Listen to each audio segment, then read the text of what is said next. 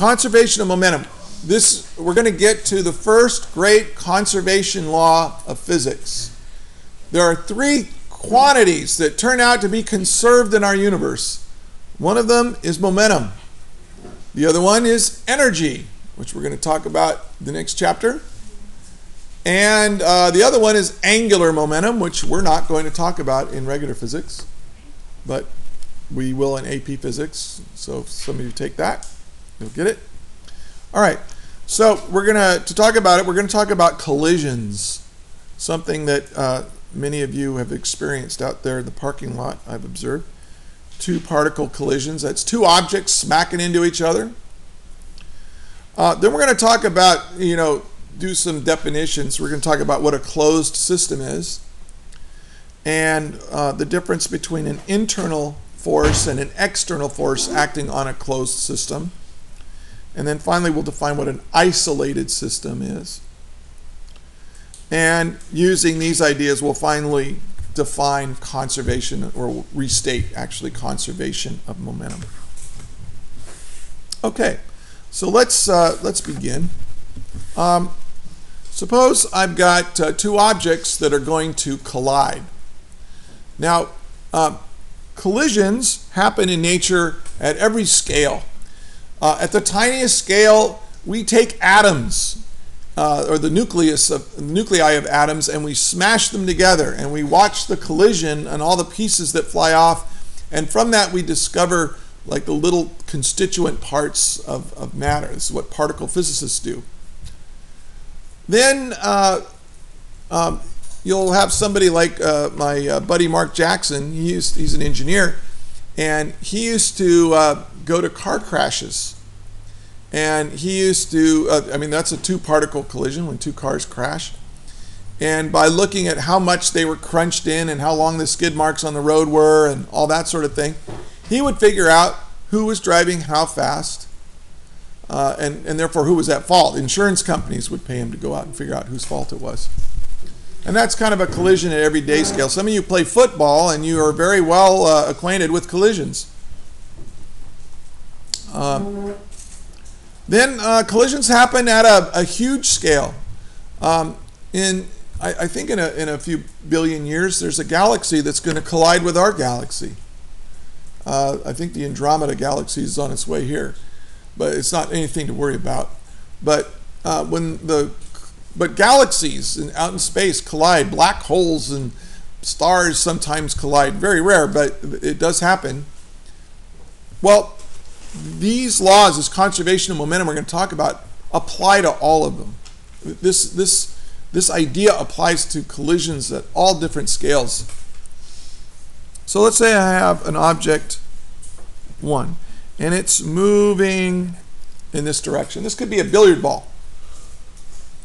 Or, you know, I, I go to my family reunions and Memorial Day, we play shuffleboard. Have you ever played shuffleboard?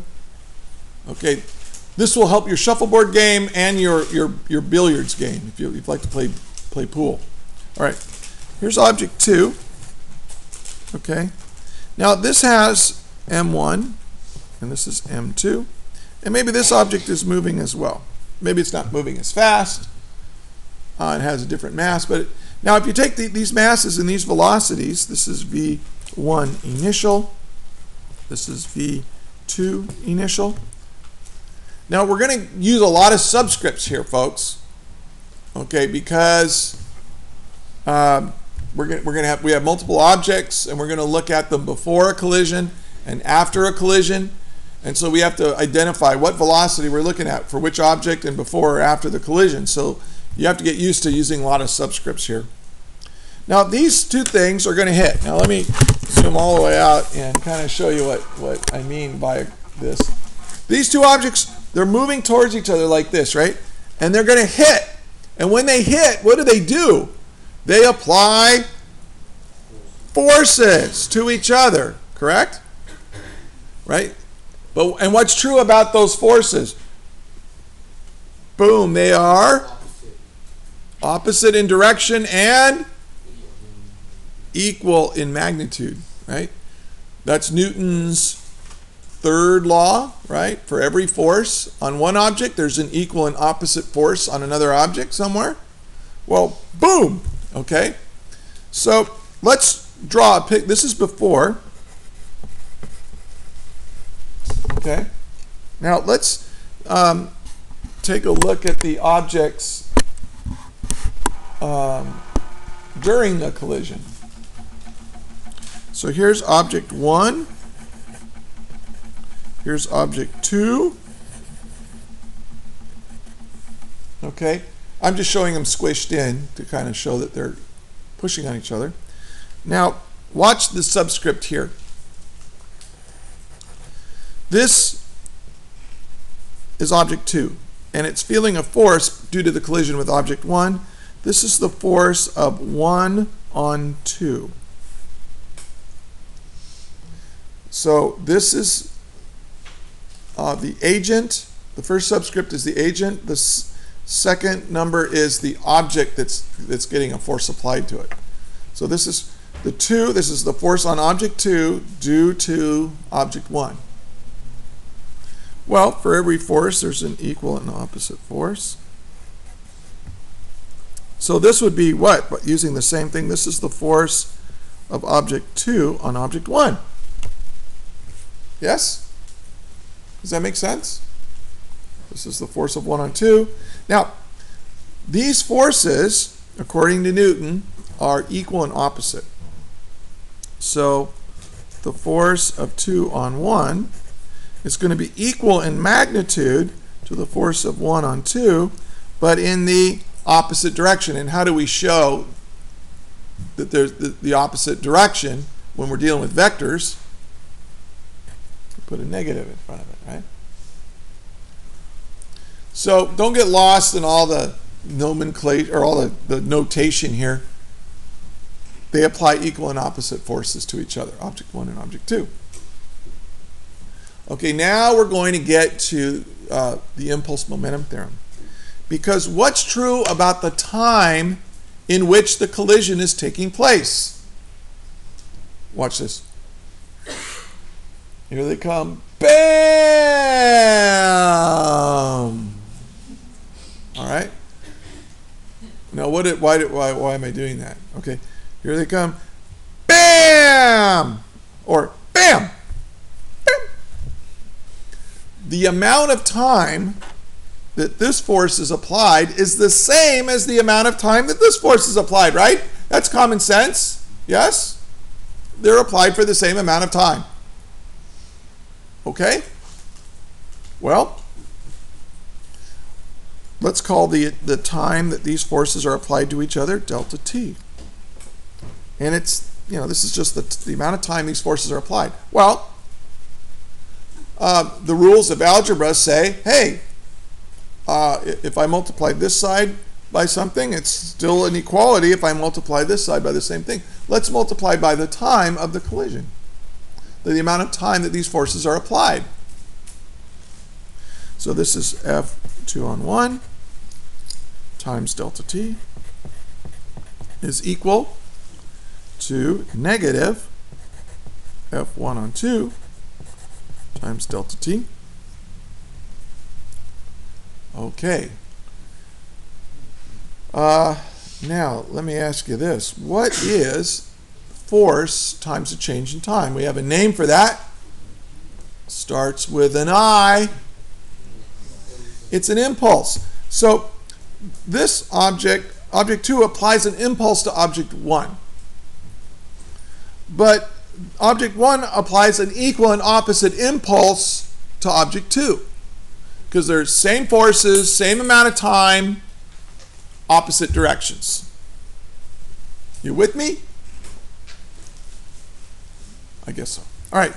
So, so this we we showed um, on Monday that that this is just the change in momentum on object one.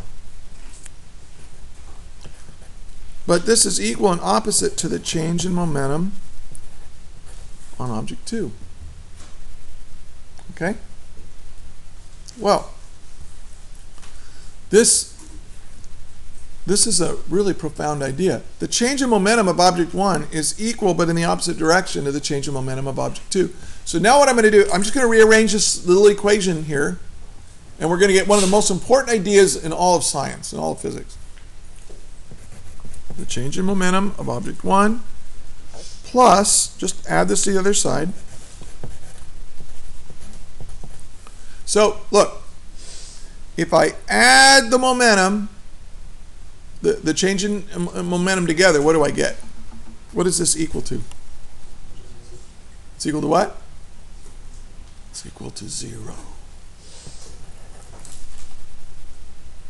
Okay, so here's the thing. Let's go back to the collision here. Object 1 gets its momentum changed. Object 2 gets its momentum changed during this collision.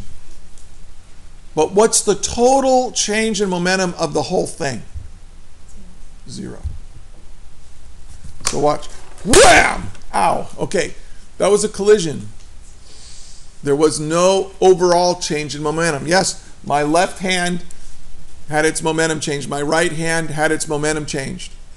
But when I add those two changes in momentum together, there's no change in momentum. Okay. Um, now, if I draw a picture of this after the collision, okay, let me. Here's object uh, 1. Now, object 1 might still be moving forward, but obviously, if you apply a force to object 1 this way, the change in velocity will be to the left. So maybe there's object 1 and now object 2, after this collision, it's had a big force applied to it to this, so maybe it's, you know, moving like that or something. Okay, Geo, I got a pass for you. Here. So this is the before, this is the during, all of this math, and this is the after. Okay, so what happens is two objects come together, they interact with forces, and then they fly apart. That's a collision. Okay, in, in uh, definition of a collision in physics. Two objects come together, interact through forces, and then come apart. Now, um, I'm going to take um, I'm going to define a couple of things here. Um, a closed system. Let's talk about what a closed system is. And this is in your book, so you know, read read the book. But in a closed system, we say that the mass doesn't change. So if I have a closed system, um, what I'm doing is I'm looking at a little part of the universe and I'm saying, okay, in this little part of the universe, I'm not going to add or subtract any mass. Now look, look at this collision. I have this object and this object. If I, if I look at these two guys, they are, eh, you know, before, during, and after the collision. Did I change the mass? No. Okay? I'm not going to change the mass in collision problems. So this is a closed uh, system. Now, there are forces. Now let's talk about uh, internal forces.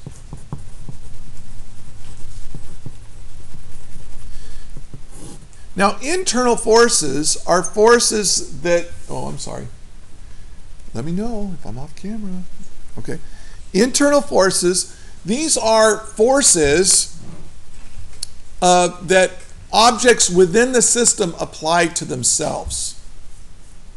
Okay, for example, our solar system. If you said our solar system was a closed system, what kind of forces do the particles in that closed system apply to each other?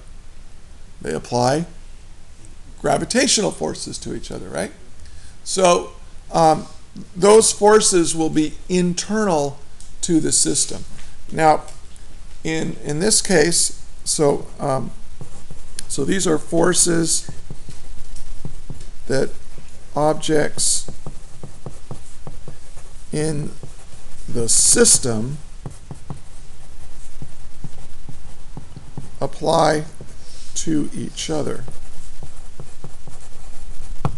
Okay. Now, here's a really profound idea about internal forces. They don't change the momentum of your system. Let's take a look at this system again. Two objects collided. They applied forces to each other. So, since this is my system, these are internal forces. And notice that, yes, they change the momenta of each other, but for the overall system, the momentum didn't change. And that's true for all internal forces. Internal forces can't change the momentum of the system. They can only change the momentum of the individual objects within the system, but when you add up those changes, you end up with zero. Now we're just showing this with two particles, but this can be shown to be true for any number of particles. Now, external forces, oh, and so they don't change momentum of the system. So these are these are pretty these are real serious ideas that we're dealing with here. External forces.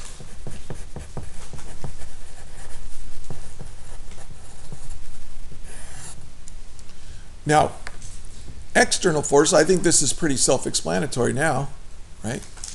External forces are forces that are applied to our objects that come from outside of our system.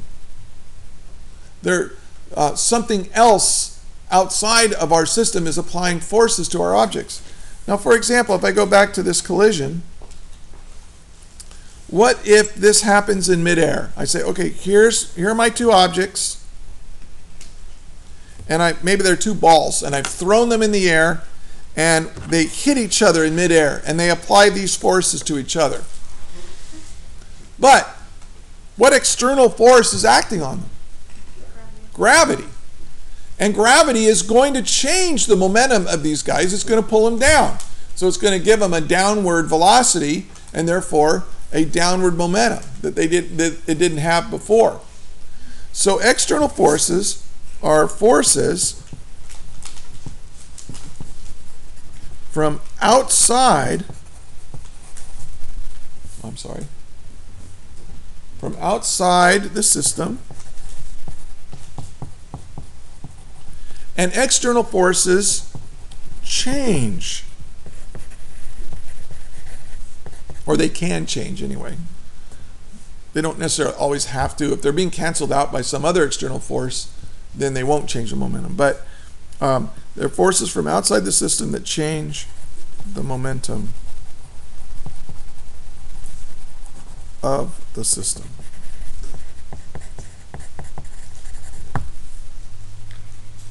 Now, now that I've, I've, defined what a closed system is, it's a, it's a set of objects where I'm not going to change the mass of it.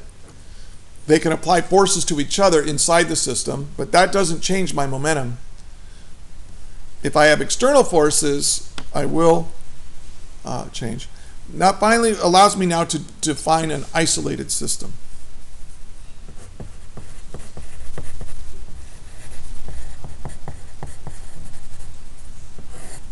an isolated, uh, an isolated system. Are you meditating? Um, an isolated system is a system that's closed. Okay? In other words, I'm not going to add or subtract mass from it. It's not going to gain particles or lose particles.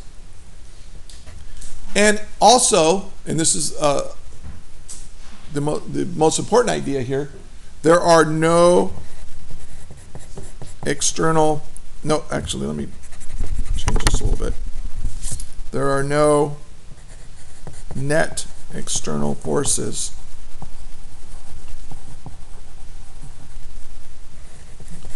acting on the system.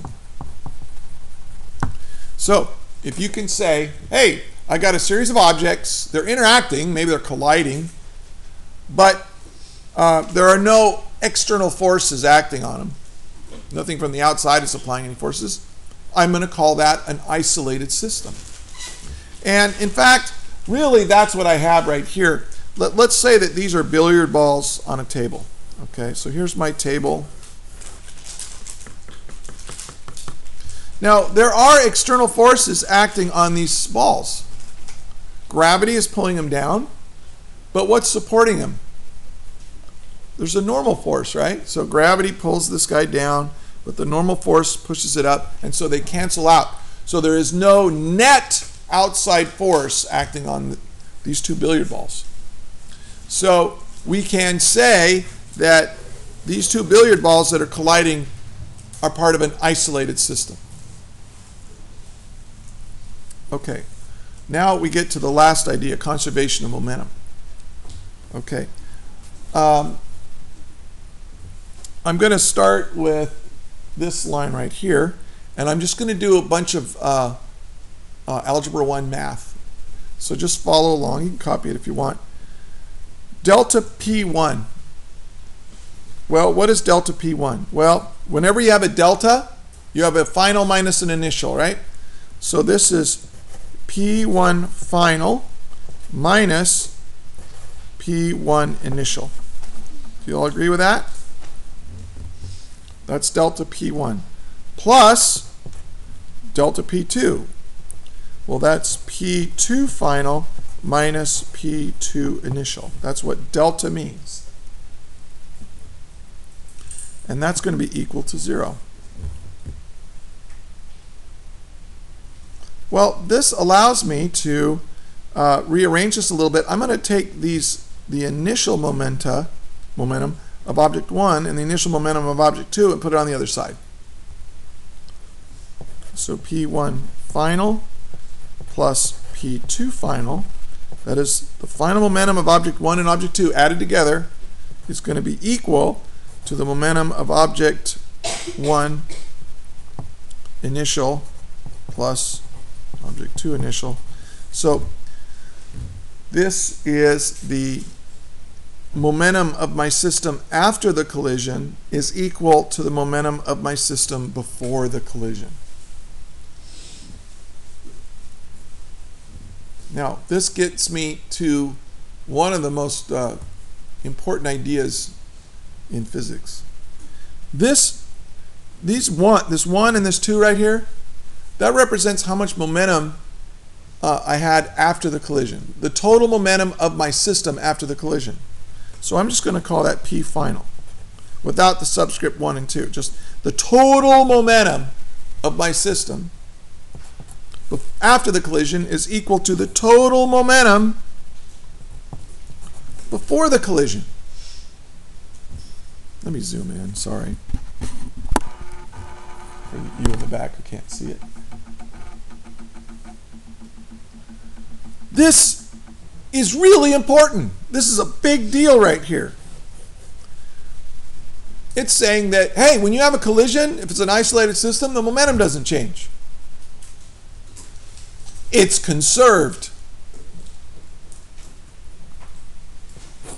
If you have an isolated system, momentum is conserved. So I'm just going to restate it here in the corner. Momentum is conserved. Well, what do we mean by conserved? We mean it doesn't change over time. It stays the same. Oh, thank you. Momentum is conserved in an isolated system. Okay? And we're going to be dealing with collision problems where you have an isolated system. We're going to consider the two objects isolated from the rest of the universe. No net force from outside the universe will act on them, and we're not going to add or subtract mass. Therefore, we start here. Whenever you have a collision problem, you start here. And then what we'll do next time is we will work a series of example problems using this. Hey, just a second, I'll let you out. I know what time it is. But read the example problems. They're a little bit different than the way I do it, but read them. And then do the uh, thing. So let me zoom out so you can see the whole thing here.